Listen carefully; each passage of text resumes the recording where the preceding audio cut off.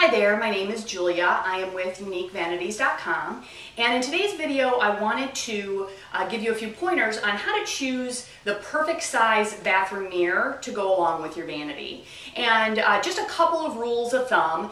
Generally speaking, uh, you're going to want to stay at least an inch uh, smaller on both sides than the total width of your vanity. So obviously you need to begin with measuring the uh, countertop of your vanity. Um, so stay at least one inch on each side. You can go uh, smaller than that. And then the next thing you would need to take into consideration is any additional accessories. So uh, an example would be if you have intentions of putting sconce lights on either side of that mirror, then that mirror is going to be even smaller. So you're going to need to take that in consideration. Um, in addition, is there going to be a backsplash? That will help you look at what the total height of the mirror is. And then are you going to have any outlets? Uh, that's also something, you know, that you'll need to accommodate when you're, uh, when you're working with limited wall space.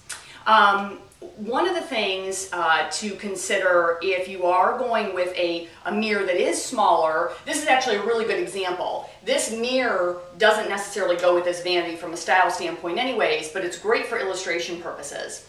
This mirror is a few inches, it's about uh, four inches smaller on both sides. And as you can see, um, this is just too small for this space. Now, if there were sconce lights on either side of this, this mirror could be appropriate. But then the next challenge you have here is that this frame is too big.